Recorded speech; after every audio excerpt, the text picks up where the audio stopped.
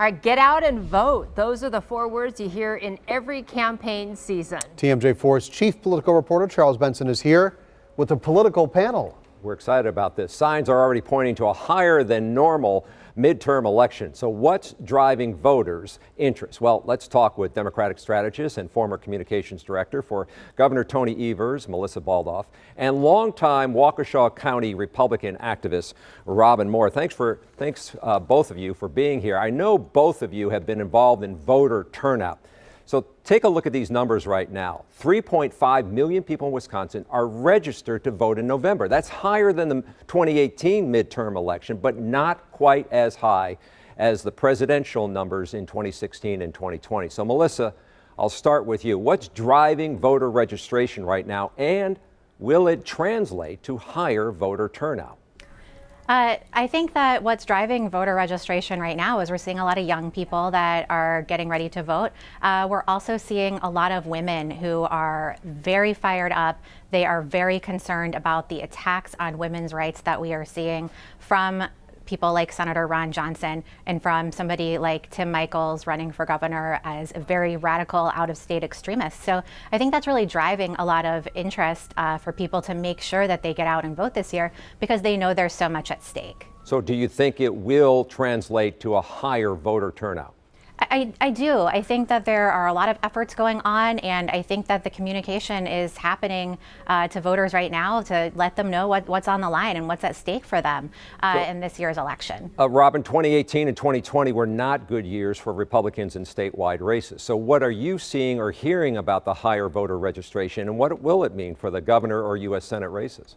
Well, like you said, in 2016, we saw a high number of new voter registrations, and those were people voting for the very first time.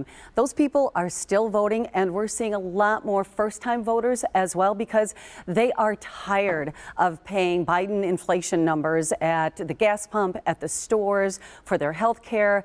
Um, they're tired of the crime that we're seeing across Wisconsin. That's going to translate very well for Senator Ron Johnson and for our gubernatorial candidate Tim Michels because these candidates represent what the people want. We want to see economic prosperity and we want safe communities, and the other side just doesn't have that down.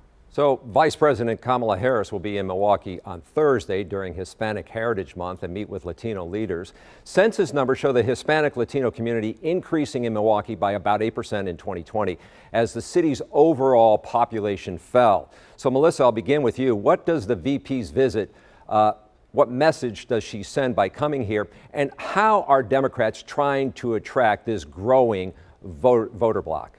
Sure. Uh, you know, I think that Wisconsin is always going to be a battleground state. It's always going to be important, and we're going to have a lot of interest from uh, high-profile folks like like the president, like the vice president, who are going to come into our state and want to have those communications. I think that right now we are seeing some really great wins that uh, President Biden and Vice President Harris uh, have have been able to get through when it comes to the Inflation Reduction Act, uh, which is a historic investment in climate.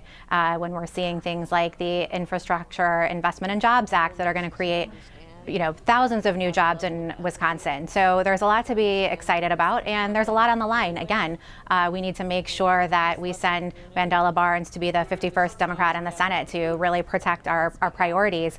Uh, and we need to make sure that uh, we reelect Governor Evers and give our federal partners a strong partner here in the state with the governor. All right, let me jump in there. Robin, the president and vice president have made Milwaukee a high profile place to visit. Republicans don't have that star power of being in the White House right now. So, how will Republicans Republicans counter this and try to win over this key voting bloc in November?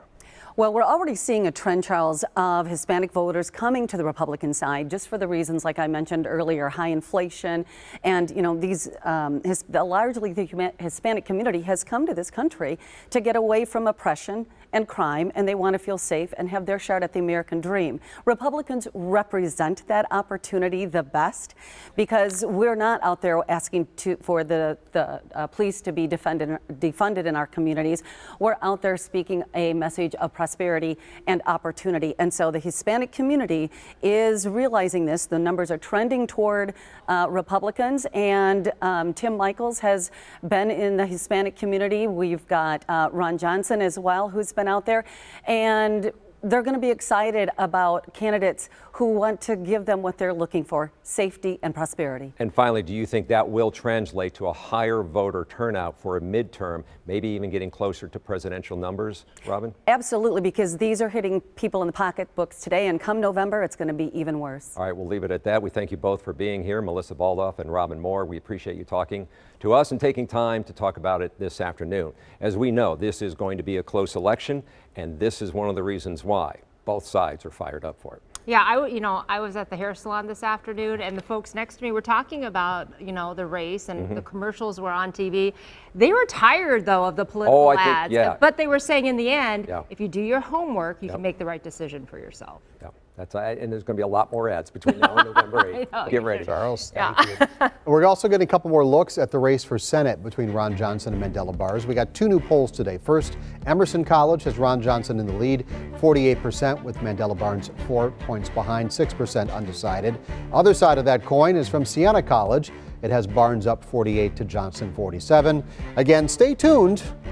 This one will not be over until it's over. Yeah, and in case you are still unsure of who to cast your vote for in the race for U.S. Senate, this is a big race. Be sure to join your moderators, Charles Benson and Shannon Sims, on Thursday, October 13th. We will be hosting a live debate with Mandela Barnes and Ron Johnson.